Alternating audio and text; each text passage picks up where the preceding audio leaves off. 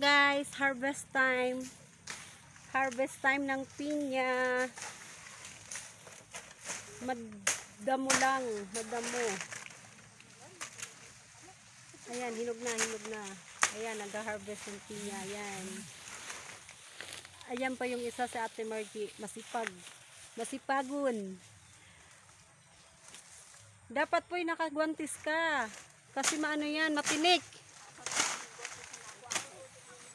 Ayan, harvest time ng pinya. Ayan na po. Ganyan lang pag-harvest.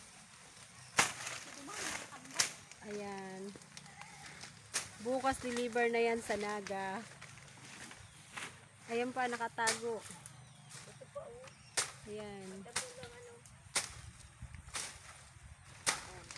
Dapat po yung nag-jacket ka.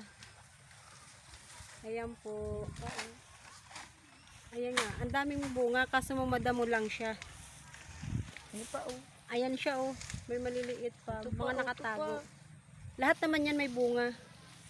Harvest time na. Harvest time. Ayan. Ang sipag naman ni Dane. Siya yung taga-ipon. Ayan na po yung mga na-harvest na pinya. Ayan. Ayan. Mga hinog sa puno. Kaya lahat po yan matatamis.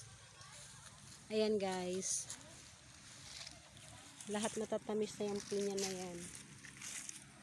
At malapit din ka sa ilog ang pinyahan na to.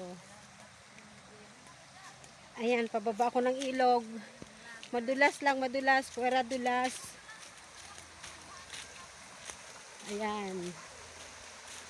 Ito na guys, ang bilis lang. Nandito na ako sa ilog.